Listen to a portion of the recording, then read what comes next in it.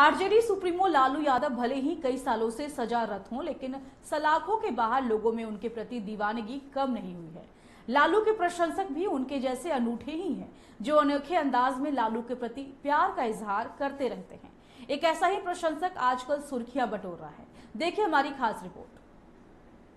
वैशाली ज़िले के रहुआ गाँव का रहने वाला पवन कुमार यादव पूरे बिहार में चर्चा का विषय बन गया है। तेईस अप्रैल को उसकी शादी होनी है। उसने अपनी शादी का कार्ड ऐसे छपवाई है कि लालू यादव के समर्थक गदगद हैं। पवन ने अपनी शादी के कार्ड के कवर पर ही लालू यादव की तस्वीर छपवाई है और बीमार आरजेडी सुप्रीमो की रिहाई की मांग की है।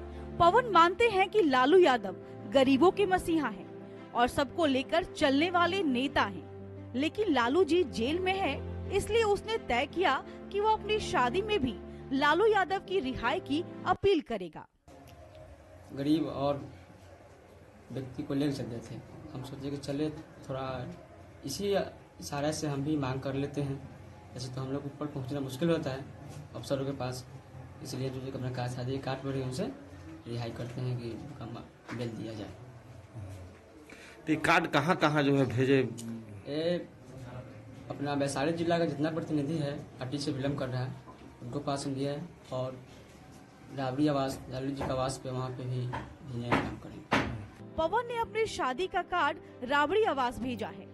उसने आरजेडी के कई नेताओं को भी कार्ड देकर अपनी शादी में आने को कहा है।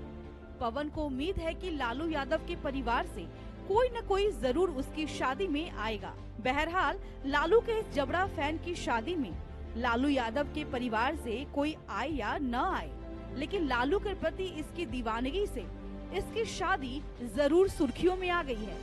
नेशन न्यूज़ के लिए सत्या शंकर की रिपोर्ट।